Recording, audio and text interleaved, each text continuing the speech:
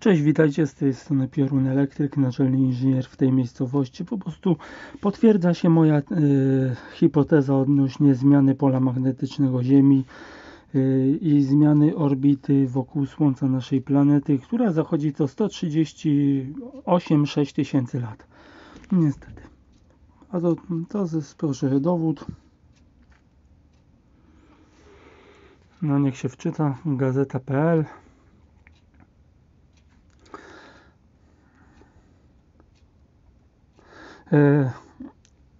osobą, która napisała artykuł jest Romana Makówka.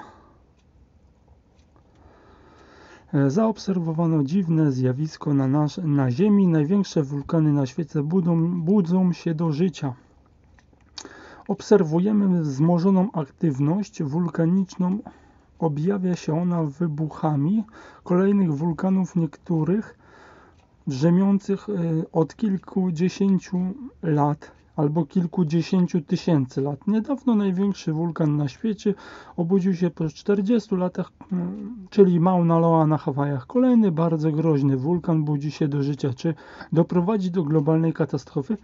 Tak, ponieważ pyły i gazy, które są przez niego wyrzucane, doprowadzą do Y, ograniczenia dostępności światła słonecznego, co doprowadzi do zimy wulkanicznej. No, niestety, moje teorie się sprawdzają coraz bardziej i przewidywania. Jeżeli ktoś nie wierzy, obejrzyjcie sobie moje filmy. Kurde, no nie ma to jak debilna jakaś y, ten. O, dobra. Y, moje filmy pod tytułem Ogólna sytuacja wulkanów. Od kilku... Ja pierdzielę, nie ma to jak się wszystko wczytuje. Od kilku dni można zaobserwować wzmożoną aktywność wulkaniczną w różnych regionach świata. Wiele drzemiących dotychczas wulkanów wybuchła na niespodziewanie. Jednym z nich jest Mauna Loa, największy wulkan świata, który wyrzuca lawę pierwszy raz od 38 lat. Gazeta.pl Wybuch super hmm, wybuch wulkan na Hawajach. Super wulkan Taupo może być kolejny. A nie tylko nie kolejny, będzie jeszcze lepiej. Zaraz będzie wulkan Topa, wulkan Krakatau, a co już wybuch. Jeszcze jest kolejny super wulkan u wybrzeży Japonii dosłownie. Czy tam nawet Chin. Nie pamiętam gdzie on tam leżał na oceanie. Seria trzęsień ziemi, która powtarza się regularnie, sprawia, że superwulkan Taupo, y, który był, był źródłem największych erupcji na Ziemi w ciągu ostatnich 5000 lat, znowu może wybuchnąć. Kolos eksplodował około 1800 lat temu. Wyrzucił do atmosfery ponad 100 kg kilometrów, przepraszam, 100 km sześciennych pyłu i skał. Wiecie jaka to jest wartość? Katastrofalna. 1800, ro 1800 lat temu. To by wyjaśniało, czemu były zimy wtedy bardzo mroźne. Przyjmuje, mm, jak się przyjmuje, była to największa erupcja na Ziemi od 5000 lat. No i mm, tu mamy podczas erupcji wulkanu na powierzchni Ziemi wydostawały się gazy i popioły.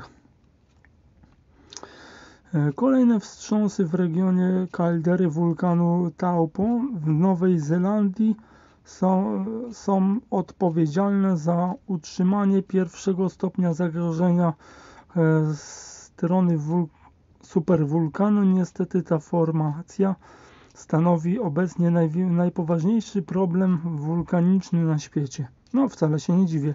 W Europie również się, gorą, się robi gorąco na szczycie Etny. Pojawiły się stróżki lawy.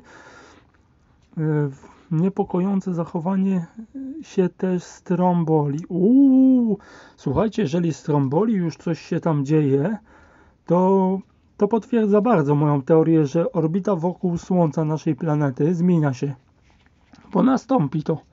Po prostu będzie wydłużona. Będziemy latem przechodzić bliżej Słońca, a zimą bardziej oddaleni od słońca i zimy będą gorsze. Będą zimy naprawdę katastrofalne. A do tego, tego zbiega się to po prostu z zmianą pola magnetycznego Ziemi, czyli zamianą biegunów i osłabnięciem pola magnetycznego Ziemi, które chroni nas przed cząstkami wiatru słonecznego i kosmicznego promieniowania. Po prostu wszystko zbiegło się naraz, co może doprowadzić do kataklizmu globalnego. Jeżeli nikt mi nie wierzy, to po 2024 wszyscy, wszyscy zobaczymy, czy miałem rację. Dobrze, etny pojawiły się stróżki lawy, niepokojące zachowanie test tromboli, obserwowanie się także zwiększona aktywność sześciu wulkanów w Rosji, Szyweliusz, Szyweliusz na Kamczatce szykuje się do potężnego wybuchu w kraterach e, Kluczewskiego i Szywieliusza Wełjusza też y, bulgocze magma. Uuu, słuchajcie, może być bardzo. W Ameryce Środkowej, w Szwalwaldzie, przepraszam za pomyłkę, przebudził się natomiast wulkan San Miguel, uuu, czyli jeszcze gorzej. Tamtejsze władze przygotowały schrony, schrony na 10 tysięcy osób. Posłuchajcie, jeżeli schrony już uruchomili, to pomyślcie, jaki tam kurwa kocioł musi być po prostu. E, Dobrze, w Chile także panuje stan alarmowy, ponieważ do erupcji szykuje się wulkan Valjaria. Uuu, ja pierdolę, czyli kurwa na całym świecie praktycznie wszystkie wulkany się obudziły w jednej chwili, tak naprawdę można. Posłuchajcie, w skali geologicznej 3-4 lata to jest jak jedna chwila. W jednej chwili na Ziemi obudziły się praktycznie wszystkie wulkany. Jest gorzej niż myślałem. Dobra. Smutne wieści dochodzą też z Ekwadoru, gdzie niebezpieczeństwo stanowi wulkan Cotopaxi. No i dobra. I temat się skończył. Jeszcze raz powtórzę. Źródłem informacji jest gazeta.pl, a artykuł napisała pani Romana Makówka. Makówka Artykuł pochodzi z 2 grudnia 12 miesiąca 2022 roku z godziny 22.40. Powiem szczerze, jestem przerażony. Jestem przerażony, bo po prostu po prostu to co ja mówię się sprawdza. Naprawdę. Wyobraź sobie, że rozkoszujesz się weekendem. Dobra, trzymajcie się na razie.